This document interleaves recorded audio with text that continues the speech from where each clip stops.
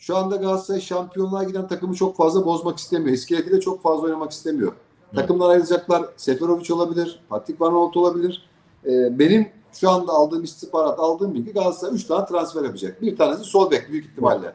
Eğer bir aksilik olmazsa Sivas'ın Karacabey Belediye maçıyla oynadıktan sonra Uğur Çiftçi, Galatasaray bu maçı oynadıktan sonra Uğur Çiftçi, Emre Taşdemir takası bir miktar para. Burası detayları bugün yarın belli olur. Ama bu transfer büyük ihtimalle gerçekleşecek. Diğer taraftan da iki tane bir e, stoper belki bir forvet. Orta saha düşünülmüyordu. Ama Ames Rodriguez çok uygun şartlarda gelirse ki kolay pek uygun şartlarda olacak bir transfer değil. O Evet. zaman olabilir. Şimdi bakıyorum Yunan basını bizden istiyor. Biz Yunan basından istiyoruz ama yönetim basında bu transferi doğrulayan yok.